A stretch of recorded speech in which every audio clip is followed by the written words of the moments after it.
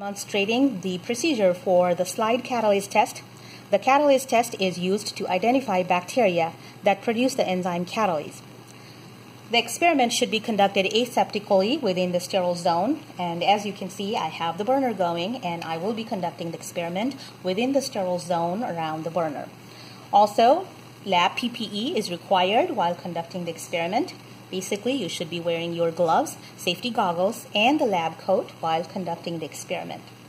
So for the experiment, we have two bacterial cultures that we will be testing, Staphylococcus epidermidis on TSA plate and Lactococcus lactis on TSA plate. We will use the reagent 3% hydrogen peroxide and we'll use this clean glass slide to do the test on. Okay. So first of all, sterilize your inoculating loop let it cool down, then aseptically transfer the bacterial culture onto the clean glass slide. Here I'm starting with Lactococcus lactis. Take the bacterial culture, uh, you need a visible amount. So transfer a visible amount of the culture onto the glass slide. I have labeled the glass slide with the names of the bacteria on two sides. So I have Lactococcus lactis here. Transfer the visible amount of bacterial growth onto the slide. Then sterilize the inoculating loop, put it away, and add a drop of hydrogen peroxide onto the bacterial growth.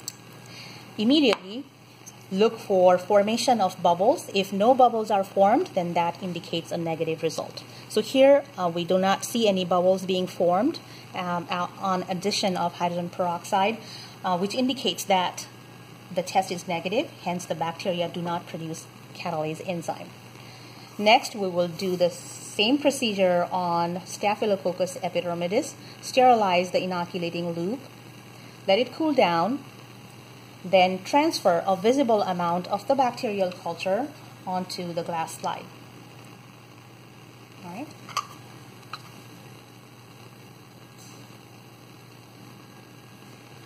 Sterilize the inoculating loop and put it away safely. Then add a drop of hydrogen peroxide onto the bacterial mass.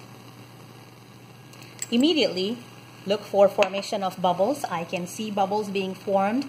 Um, I think you can see from there, but in case you're not seeing from too far, I'll bring it close to the camera and you can see the bubbles being formed, right? The formation of bubbles on this sample and no bubbles on this sample. So this is Staphylococcus epidermidis on addition of hydrogen peroxide. This is Lactococcus lactis on addition of hydrogen peroxide. Bubbles are formed when you add hydrogen peroxide onto Staphylococcus epidermidis, and this means that the bacteria produce the enzyme catalase.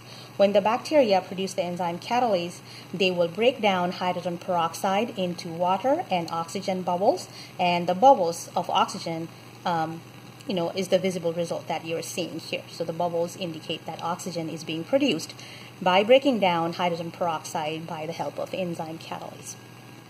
Next, dispose the slide safely into the bleach discard and disinfect your work area.